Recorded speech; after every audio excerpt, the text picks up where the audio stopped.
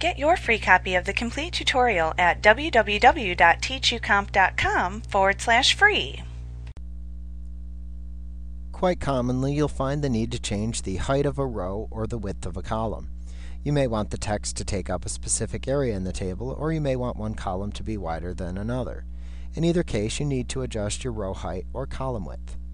To adjust row height, simply roll your mouse pointer over the bottom border of any cell in the row that you want to adjust until the pointer appears as a double-pointed arrow.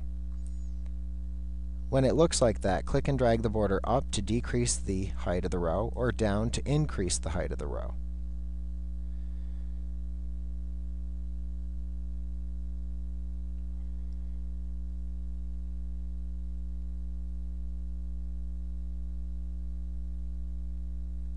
Also note that to adjust column width, you can roll your mouse over the right side border of any cell in a column that you want to adjust until the pointer appears as a double-pointed arrow.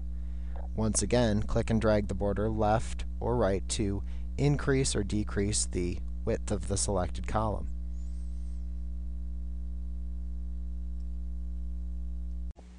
Like what you see? Pick up your free copy of the complete tutorial at www.teachucomp.com forward slash free.